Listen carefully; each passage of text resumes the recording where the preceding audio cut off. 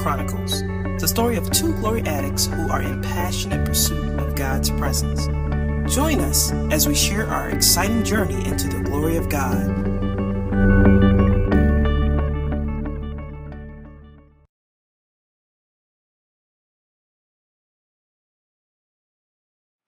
Hello and welcome back, people.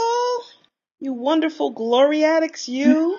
My name is Madeline and I'm Janine. and we are your glory addicts. We are here in episode 10. We have made it to double digits. God is good. You guys are still watching us. Thanks for watching. we do greatly appreciate you guys tuning in every week, you know, watching our antics and, you know, just us having conversations with each other. And so we appreciate you. We greatly, greatly appreciate you.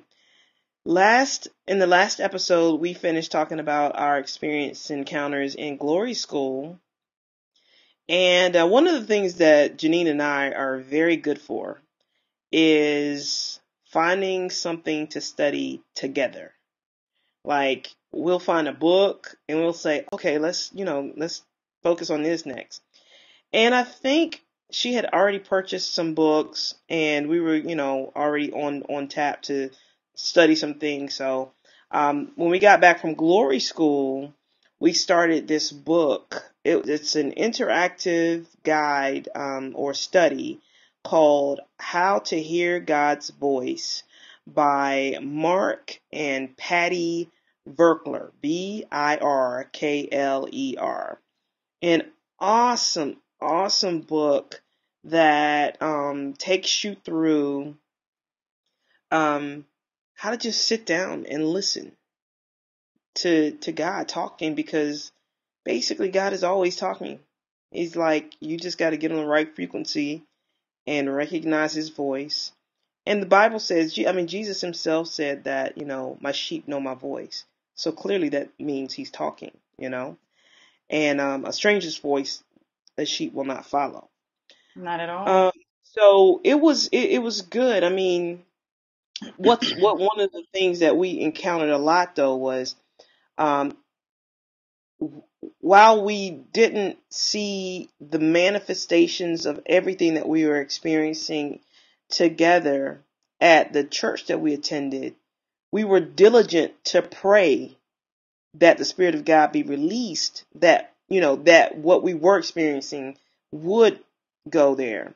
And so it was, it was amazing how we would shift to our next topic of study and our pastor would say, we're about to start talking about this topic and it'd be the same topic we're about to study. And so it was just like confirmation to us whenever we'd go to church and to find out that, wow, he's about to talk about hearing God's voice too and how important that is and, and all of this. So, and it, it was almost like we were actually pioneers because we were ahead of the curve.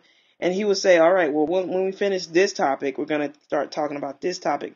And we would have already been in it for a while. And we just look at each other like, wow, God, you're just doing it. and so, I mean, it was so cool. It was so cool how Holy Spirit does that. And even he was answering our prayers because that was our earnest cry. He was like, well, if we can't, you know, if we experience this, let us be the seeds for our congregation that we can just believe, God, that whatever we experience, they can experience in every service. And the pat pastor experiences it, the whole, you know, all of the staff, they just get it, you know. And so that happened a lot. So back to the study. Um, it starts out just talking about God is talking all the time. And um, all the time. all the time. That's amazing. Like, for real. Like he's never not talking.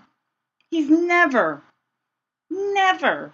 He always wants Always to tell got you something. about you. Like all the time. all And the thing about it is, since we get like we're human, there's so much he can tell us about us. You know, like now, Truly, now. Janine, let me tell you. Remember that thing you did? remember that. Well, that was this.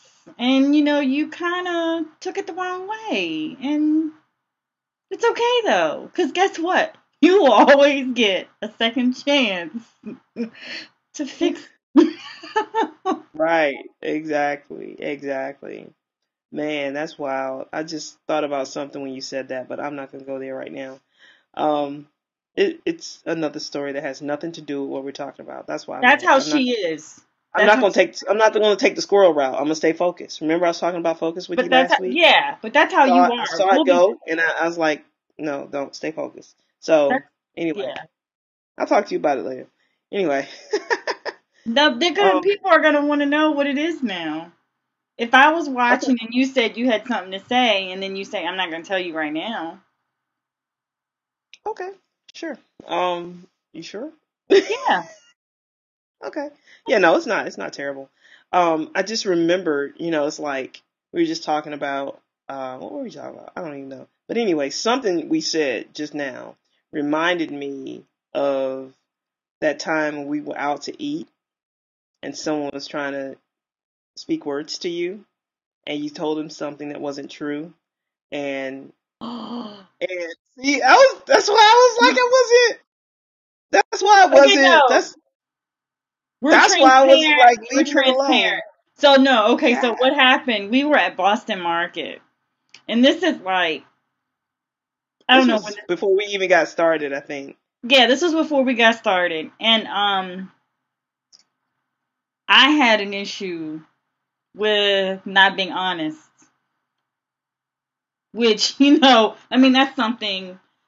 Um, okay, so what happened was this person asked me um for my number, and why are you laughing? Stop laughing. Okay, so this person asked me for my number, and I really didn't want to be mean or anything like that. And that I'm not saying, you know, that this is something that happens all the time, but what I did was I just really instead of, you know, wanting to come off mean, I I lied and said I had a boyfriend. I did not. It was a lie. And immediately I felt really convicted. And so um the Holy Spirit said, you know, convicted me. And then I told Madeline, and oh my gosh, why did I do that? Because all she did was echo Holy Spirit to the point where I got in the car and I was like, I gotta go back. I just gotta go back. Oh. So I went back and I said, hey, yeah, I lied. I, I just wasn't interested and I should have just said that to you. And so that was hearing the voice of God. A very good application. yeah, And what a real friend would do for you. Because my, because my thing is, I couldn't be her how friend she her. tries to. You notice how she. It, this is true, yes, but notice how she highlights her role. just, No, I mean, I'm, yeah, no, I'm just I'm, telling you how to spot a good friend. A good friend will check you and say, you know what? I don't know if that was right. yeah, You know, and you know, I, I'm like, if I'm really your friend, I put you, your relationship with God above anybody else's relationship. And is it worth you separating yourself from God by telling a lie to make him feel better? No. So I was like, you probably need to fix that. And again, and see, this is a part of the issue that I had as far as, and you know, I say had because you know I'm always gonna be in the faith talk of, hey, this is it's over. You know, I'm You're not playing. But you know, I mean, it's a constant work. But so this is a part of my process of pleasing, not really pleasing people, but not really wanting to um not being compromising in the fact that even if it's to save someone's feelings, I may tell them something that's not necessarily true. And it may seem like it's all right and it's good, but it's not. And, um, you know, just being honest with people and, you know, having a pure heart. And even out of that, not being mean and vicious, of course, but you know, why wouldn't this person accept, you know, you're a nice person. It's just I'm not interested in you. And that's okay. Just like someone may not be interested in me that I like. You know, it just may not happen. That's human nature. That's how we are as people. So, you know, but me not feeling comfortable enough to express myself. And so, you know, God continually, even through all of this process, worked on that with me. And that was one of the things that really um, was loud and clear the message and the lesson inside of that. So, um, but now we're going back to what we initially started talking about. Yeah, I mean, but that's that's a clear demonstration of how God is always talking. Yeah. You know, I mean, it, it's obvious, you know, and not only did he talk to her, but he confirmed it in me to her. You Right. know, and that's how God will do. He'll, you know, hey, look, you know, give you more chances to to fix it before you get too far away. Like, you know, Yeah. you knew this before you left. Why don't you fix it now? You know. Yeah. And so, um, but yeah, we started the book, and um, he ver- he he basically used Habakkuk, um, chapter two. I think the model there uh, laid out. I'm not going to go through the whole thing. I really encourage you to get the book. It's great. It's maybe twenty bucks on Amazon. it's about It's twenty dollars. yeah, it's like right around twenty, uh, and it's an awesome, awesome book. Yeah. he encourages um, you know you as the reader to journal to journal your your your thoughts and what you're you're saying to God and then listen and write down what he says back to you so i mean it's an amazing thing because as of right now i have over a year's worth of journals that highlight conversations i've had with god so at any point in time, I can just go back and make sure I've done exactly what He's told me to do in the Yeah. past, which is amazing. You know, Mhm. sometimes you hear God say stuff and you're like, okay, God. And um, you forget. You know, some you just straight up forget sometimes, like, oh, I forgot to do that, you know. Right. And, you know, this serves as you can't forget. It's in it, it's almost okay, this is this is good. Please don't call me sacrilegious or anything. But the same way the the people who wrote the Bible got inspired by Holy Spirit, that's what's happening with me. I'm getting my own Words for your conversation for my own life from God. And so That's it's awesome. Powerful. That's powerful. is very powerful. It's like, this is what I want you to do. And he'll say stuff, he'll forecast stuff for me, he'll give me a picture of something. And, you know, he talks to me in pictures and a lot. And, and, um, you know, that was one of the areas because hearing from God and getting still was my challenge.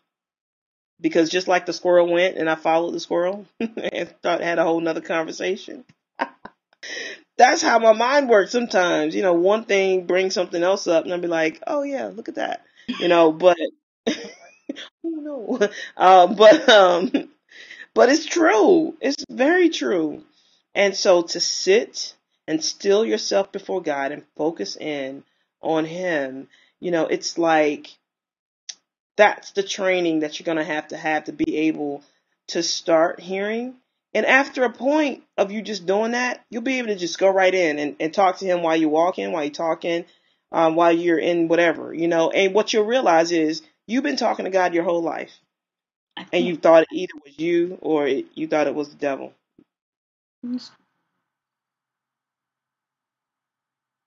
This way. Mm-hmm. There we go. So, um, it's like, what? Why would you? I mean, God is always talking, and by going through this book, it was so powerful because we talk to each other like we're talking to Him all the time, and it's like not even we don't have to write it down. It's not like we have to go to the journal to hear God. It's like Him answering your questions before you even get it out.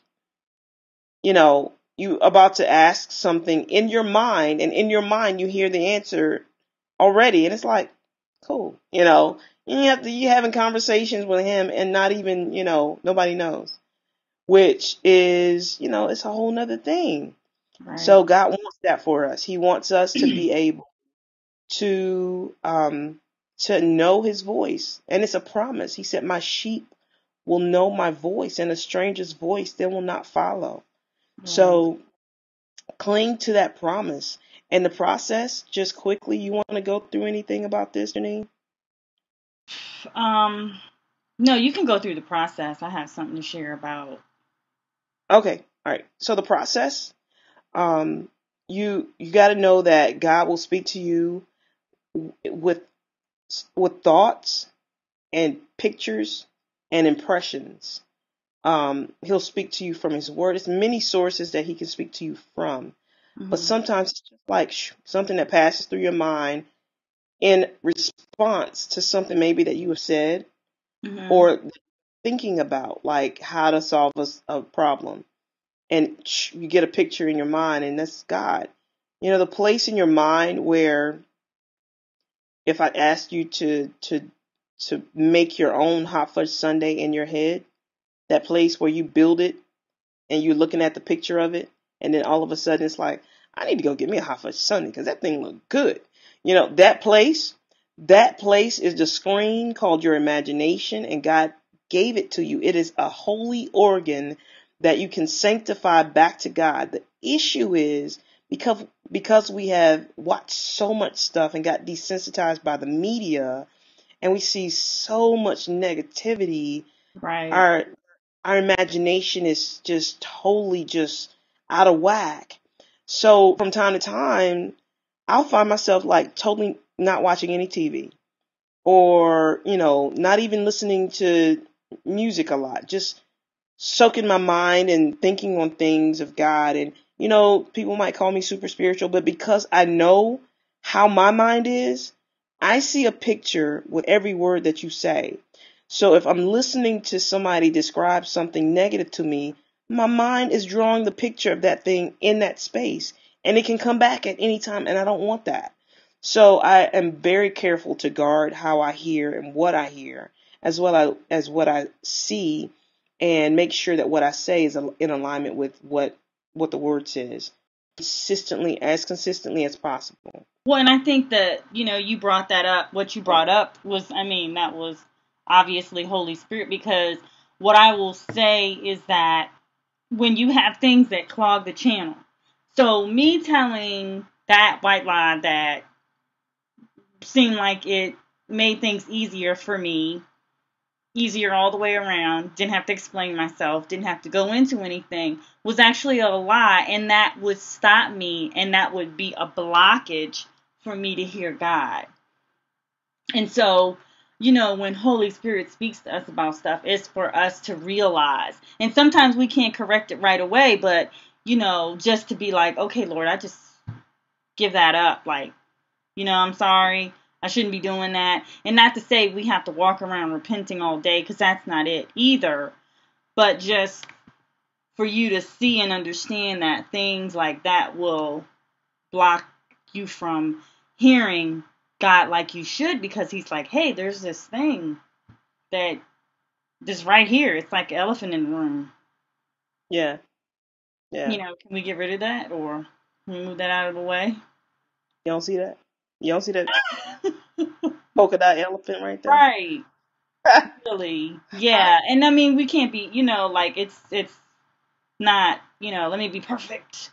Um, but just realizing that what you see, what you say, you know, just like Madeline said, that's going to be the filter that everything Yep. comes through. Absolutely. Absolutely. So um, it's it the quieting process could it could start with you just repenting for stuff that you might not realize that you've been doing or just clearing your conscience from anything that you know could possibly separate you you know if you told a lie today if you you know cut somebody off and flick them the bird i mean people do it Anything. Because it's, It's all real. the same. it's real every sin has the same level of Every, of, um, it's all every every it has the same Yeah. value It's all sin. There's no Same. worse sin or no Yeah. better sin. Every Exactly. sin is sin to God, and it does the same thing. It separates you from Him, straight up. So, um, you repent, you know, go through the whole thing and just ask God to cleanse from whatever, and um, focus in on Him, and ask Him questions. Ask Him questions.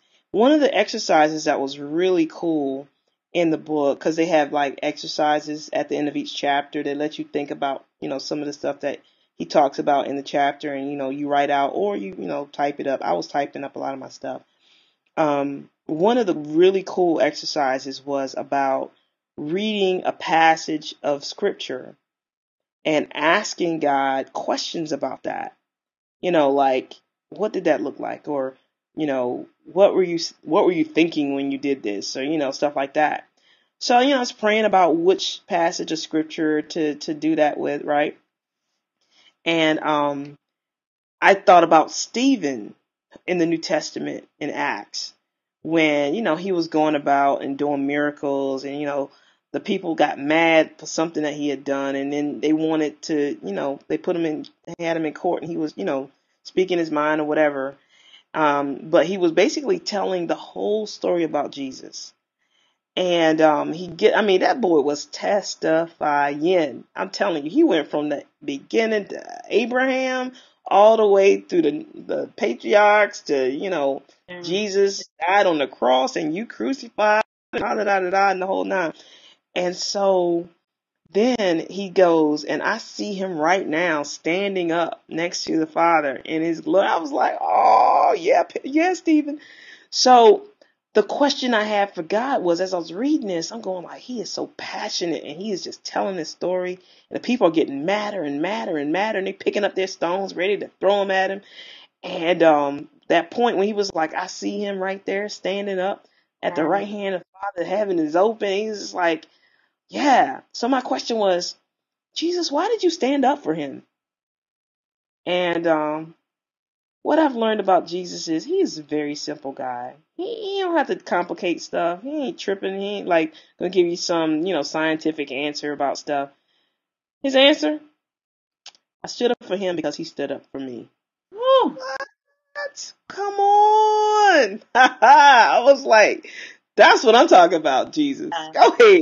Yeah. You know, because he was like, he was standing up for me. He told the whole thing. He went from the beginning all the way to, you know, talking about Jesus.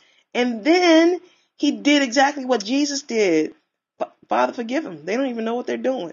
Oh. So he was like, I stood up for him because he stood up for me. He was Right. representing me at that point.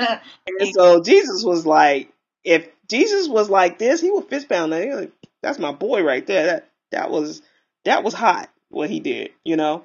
And so I just really felt that Jesus was just like at that moment. I was like, get that boy up here because he belongs up here, you know. Wow. And he obviously Woo. is about to go. That was powerful. That was a powerful revelation. That Oh. G- G- he just told me that. It's like that's why I did it. And you know what I thought about was, you know how like you're in church sometimes and in different different denominations, you might have a preacher who is preaching real good, you know, and people just start standing up like, mm, preach, preacher, you know, that kind of stuff. Bear witness. yeah, and I'm going, I wonder do they know why they're standing up? You know, are they standing up because Jesus stood up for Stephen? Like that? Or are they just standing up just because somebody stood up and they saw somebody stand up when somebody was talking real good? You know, and so that's what that's how my mind thinks. I'm going like, what's the root of why you're doing what you're doing? You know, so I asked Jesus question. I'm like, why you do that? You know, what's up with that? And so that's the conversation style that we have. I just say, hey, what's up? You know, and just go for it. He'll tell me that he loves me and just start rattling it off all the stuff he wants to tell me for today or yesterday about whatever's coming up or you know he'll go uh, all kinds of places you know tell me about my future tell me about different relationships that i'm in that i need to get fixed or do things or how i need to operate today or even a word to share on twitter or facebook or something you know because it's a ministry tool for me um so i'm like cool so i mean my conversations with him are real chill you know god is not like a thee thou thus guy he doesn't talk in King Jamesian. He talks at your language. He uses your vocabulary. If you don't know big words, guess what? He's not gonna do. Use big words with you. You know, if he tells you a big word, you just need to go look that up. So, because it's gonna be something relevant to your life. But he typically will just use whatever is in you and use your language to talk to you. That's how the familiar. Man, I love him. Isn't he amazing? He's custom. He's like a custom guide. Yeah. He's he like customizes custom. everything. He's like custom for me, and then he's custom Yeah. for you. Yeah. That's so amazing. I love Isn't that. that cool? Oh, mm, Yeah. mm, And I mm. mean, another time, I don't mean to monopolize this, but he talks to me. I mean, I love it. Another time, one of the things that Patricia King got as a prophetic word initially was God loves you with an everlasting love. And that's found in Jeremiah. And she was just, you know, prophesying the word. And a lot of times, if you know the word, you have a prophetic word for somebody. Because you can just speak the word like, I know the plans that God has for you plans to prosper you and to do you good, see you meet your expected end. It's it's a word. It's the truth, you know, and yeah, you probably knew that, but maybe you needed to hear it. He has a plan and a purpose for your life, and it's a good plan that's going to be good for you and good for everybody who you're around. Mm. And so she had this word, God loves you with an everlasting love. So I was meditating on that one day, and I was going like, God, so what's up with that everlasting love thing? He was like, Well, Madeline, let me explain this to you. You know, I love you with a love that's that's everlasting, but guess what? It's tailor made just for you. Like it's fit. Like it's almost like a mold that only you can fit in. This love that I have for you Wow. is like a mold that's tailor fit just for you. But guess what? I love everybody like that with a tailor made love just for them. And I'm like, "God, that's what's up. Ah, that's good stuff. Good, yeah. Yeah. You Um. all right over there? You probably getting what, what, you good? You not good? I mean, I'm just thinking about like the amazingness of God. That that's that's it. Cause I mean, He talks to me totally different than He talks to her. Like, Right.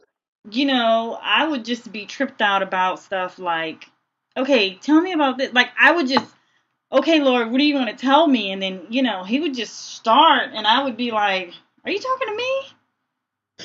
So, like, who are you talking to? exactly.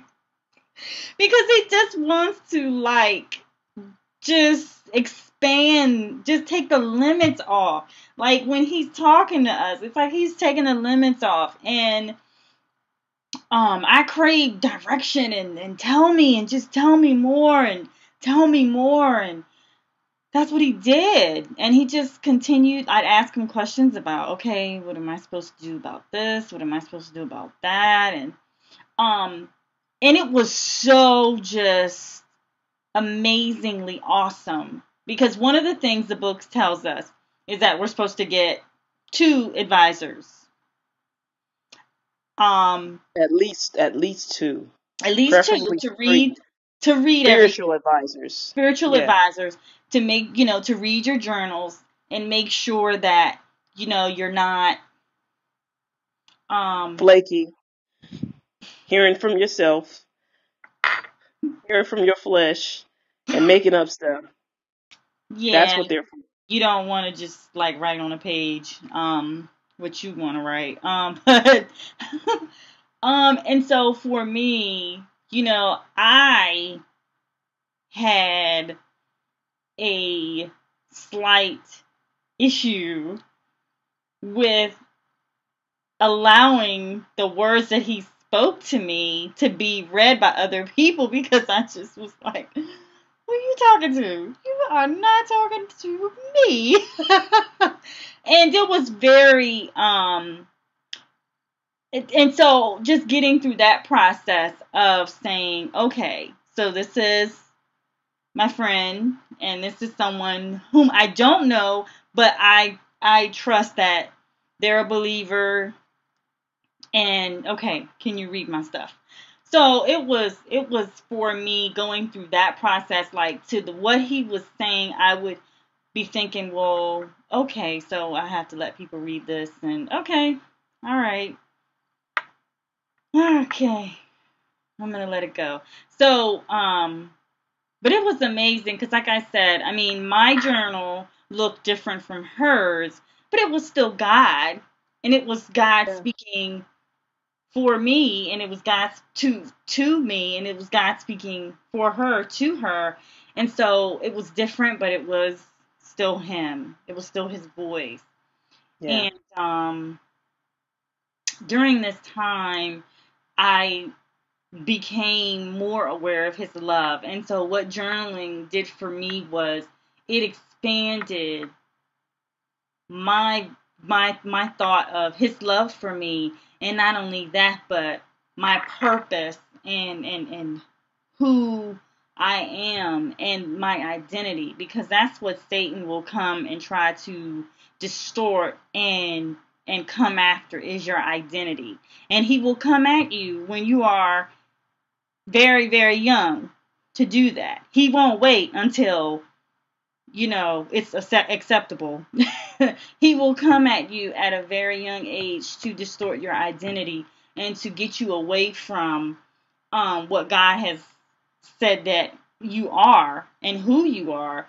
And corporately and individually and all of that. And so what journaling did for me was it brought pieces back. It brought pieces back of things that um I sensed. But then no, you know, Not me. no, but I mean, but just in general, like it brought pieces back of things. And so it was amazing. And then that's how I learned more and accepted more of the love of God because I was like, well, you have all these wonderful things to say. You obviously love me. There's nothing I can do to earn anything. There's nothing I can do to get rid of anything. It doesn't happen that way. You know, you are who you are. You are identified as who you are, and Satan sees that from when you are, when God knits his spirit with you from the very beginning. And so journaling is important because it helps you bear witness and come into the fullness of who you are and the identity. Because in order for us to go forth and be who we called who we have been called to be and fulfill our specific purpose in the whole grand great body you know get in our niche and then only and not only but in our lives personally whether it's business ideas whether it's a job whether it's moving across the state of um, the United States, whether it's whatever it might be, you need to hear God's voice. And so that's your identity. When you are with, when you're hearing what God has said about you, that's your identity. That's why it's so, so vitally important. And um, just even thinking about how we went to glory school and then we have this whole grand perspective that we get. And then once we come back from that, it's like, okay, God's like, I want to talk to you now. Like, I want to talk to you about some stuff. So here we go with the fullness of who I am in the grand scheme of things and what the word says, and now the fullness of who I am and what I have to say about you. Like, it went from who I am and then what I have to say about you. So that was like sewing. It was just sewing a tapestry together for us. And um, what you will begin to notice and what I saw was that there was a divine path. So the hearing um, was so very important because not only did it help my identity, but in in that confidence, assurance, um, rest, um, all these things that came as a result of me being connected to who created me in a more intimate, loving way. And prophecy, because it's basically what you're doing, prophecy is for exhorting, it's for comfort. And so any words that were outside of that, we automatically knew that wasn't from God. And so that's that's something else. That's that might be some condemnation. That might that might be something else that that's not true. And then okay, does it line up with the word of God? Right. So, you know, amazing. But were you gonna go through the exact steps? Yeah, I was gonna try. so, um, so you tune in to the flow because you um, begin to understand that there is a flow. Bible says that out of your belly shall flow rivers of living water. Holy Spirit is that flow. And so those that flow produces the thoughts and the pictures and the words that come up in your mind. So you tap into that flow. It's like a river that you just jump on and just ride with it wherever it's going to go, right? Um, so you tune into that, you tap into it, and you silence. Well, before you tap into it, you silence your own mind because you have a voice, your internal voice and your external voice. You shut that down. You bring it subject to the obedience of the Word of God. Take every thought captive and put it away in a prison and command it not to talk. Shh. You know? So you command yourself personally. I silence my own mind. I silence uh, my soulish desires that might come out. I Right. squelch everything that could come against what's going on right now. Then you turn your attention to God and say, Father, I use um, submit yourself there, therefore unto God, resist Satan, he'll flee. I use that scripture. I say, Father, I turn my attention to you. I am fully submitted to you. I resist Satan so he has to flee. So right now, he doesn't have a voice in my hearing. So I silence his voice now in the name of Jesus. He cannot talk to me because you have the authority over the enemy. Amen. And when you tell him he can't talk to you, he Yeah. doesn't have a voice. And so then you focus on Holy Spirit, who's the flow. Mm. Tap into that flow, you tune into that flow, and you say, Holy Spirit, I, I look to you now. And ask him to just fill you afresh. You know, it says be filled with the Holy Spirit. It doesn't say get filled one time and that's o- over. It says be filled with the Holy Spirit. So you ask him, I, ask him, fill me, fill me afresh, brand new, fill me all the way up, all the way up with your presence, with your spirit. And I Mm. tune my ears to hear your voice. And I, by faith, tune into the spirit of truth who are talk, who you talking to me because Holy Spirit is the spirit of truth. And so that's his job. He leads and guides us into all truths. Right. And so that's the process. You silence the voice of yourself. You silence the voice of the enemy. Therefore, the only voice that you're going to focus in on is that of, of Holy Spirit. And then you start talking to him in faith that whatever you're hearing is him. And you write those things down. Mm. And then you go back and you read them later. And you will know that was not you. and you will know that was not the enemy because he wouldn't tell you something so edifying and so, you know, refreshing and uplifting. He wouldn't do that. You know, he may make some corrections. Um, he may, you know, show you the love things that you need to work on. He might tell you how to walk out some things, but it's never going to be condemning. It's never going to be a negative word. It's going to always take you to somewhere better. And so that's the process. And you just start. I just take dictation when I do it. I, I go through that whole process and I sit with my eyes closed, and whatever I hear him say, I type. I might not even be looking at the words on the screen as I'm typing. And after I'm finished, after I feel like he's done with that thought, and sometimes it's back and forth, like, well, why'd you say that? Or, you know, what about this? And, you know, and I'll ask my, I'll, I'll write down my questions too. And then when he answers me, he'll, you know, I'll, I'll, and then what I do, just because I feel like this is holy writ to me, because it's holy writ to me, I put what he says in red.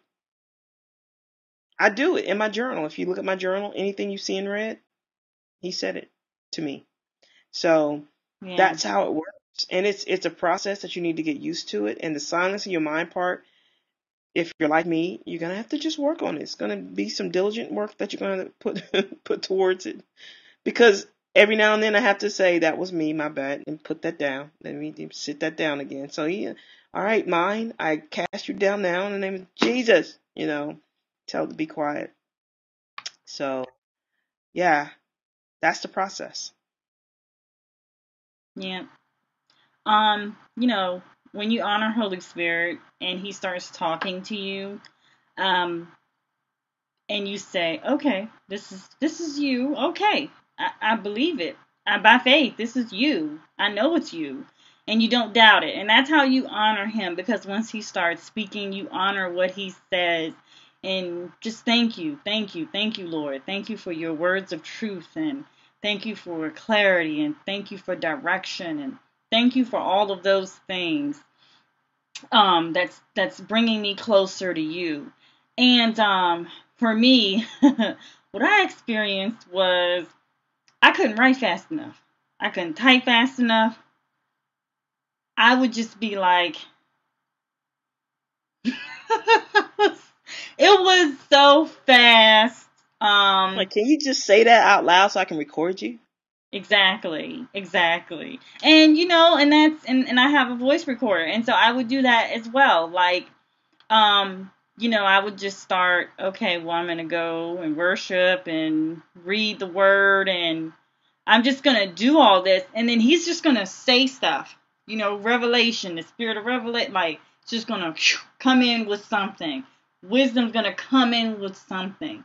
Um, now we're not talking about distractions, we're talking about words from God and you'll know the difference because it'll be something that'll you'll get it and you'll be able to keep moving forward. Distraction will take you away from it.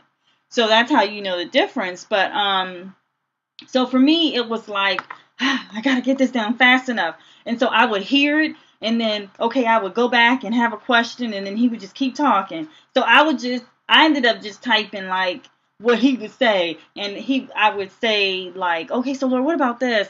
and then he'll answer me. And then in my mind, without me even saying it out loud, I would say, well, you know, that really, and then he'll, and then he would answer me out of that before I could get it out. He would be like, so you're doubting this, but this is what it is. And, and I would be like, okay, you know, and then just typing it.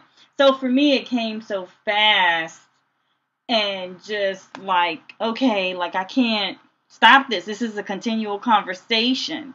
And when you tap into that, that's what it'll be like. It'll be a continual conversation.